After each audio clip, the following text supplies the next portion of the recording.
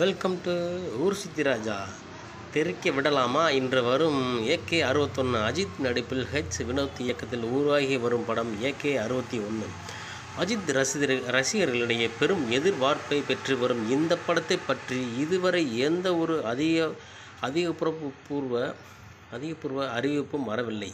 இந்நிலையில் இன்று மாலை படத்தை பற்றி முக்கிய அப்டேட்டை படக்குழு வெளியிட முடிவு செய்துள்ளதாக தகவல் வெளியாகியுள்ளது.